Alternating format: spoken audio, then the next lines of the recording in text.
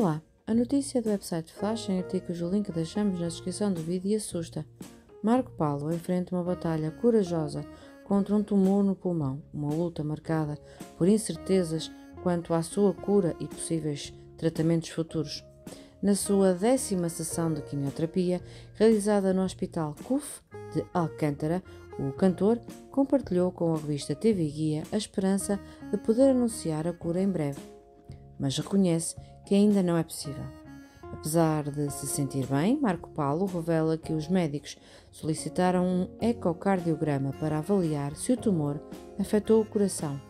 Esta incerteza adiciona uma nova dimensão à sua jornada, destacando a complexidade e o desafio constante no enfrentamento da doença.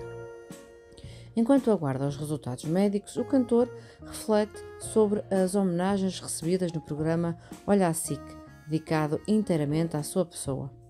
Emocionado com as lembranças da sua vida e carreira, Marco Paulo expressa agradecimento pela produção cuidadosa do programa. Contudo, ele enfatiza a importância de homenagens em vida, citando uma entrevista anterior em que solicitou que, se necessário, as homenagens fossem feitas enquanto ele ainda está para apreciá-las.